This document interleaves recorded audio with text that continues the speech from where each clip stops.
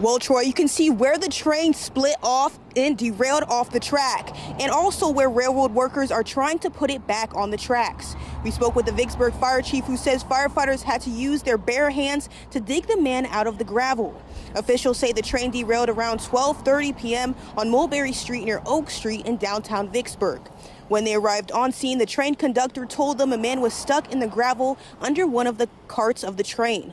That's when emergency officials worked together to get him out safely.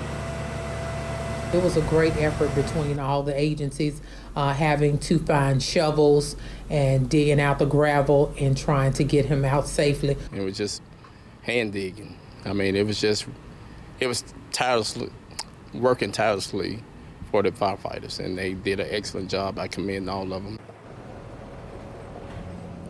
Fire Chief Stamps says it took about 30 minutes to get the man out and he was taken to UMMC for his injuries. Officials say he was not an employee of the train. Canadian Pacific Kansas City, the company in charge of the railroad, is working to upright the derailed car. The derailment isn't causing any traffic in the city.